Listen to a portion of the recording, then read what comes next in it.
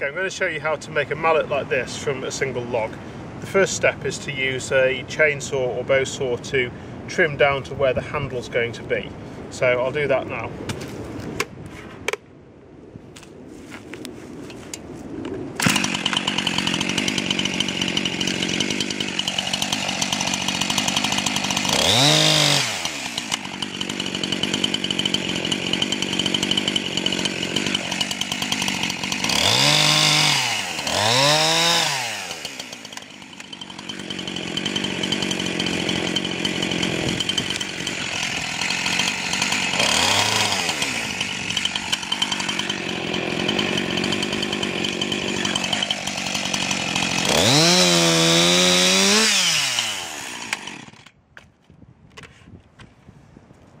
Okay, so now that's ready to trim the wood off down to this edge here, and we're going to do that using a side axe.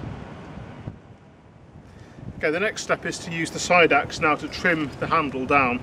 So you basically just chop like that, and as you can see, as you reach the slot I've cut earlier, the cut doesn't proceed any further.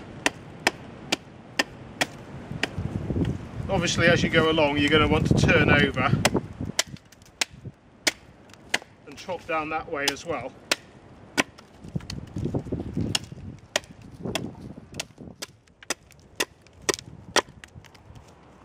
Don't forget to save all these pieces because they're excellent kindling for lighting a fire later.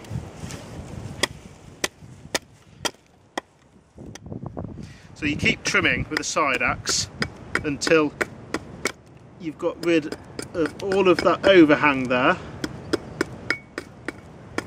Got to go very gently at these last bits to make sure you don't cut into the actual head of the mallet.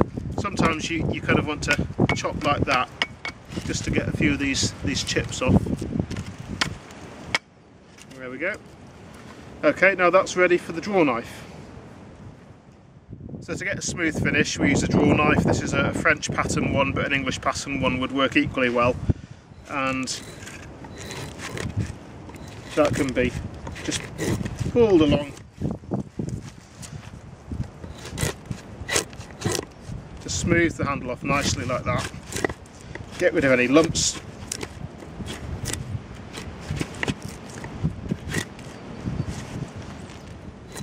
Okay, that's just about done there now. There's a few little bits here that need to come off and we can just use the draw knife like that to remove the last few little flakes there.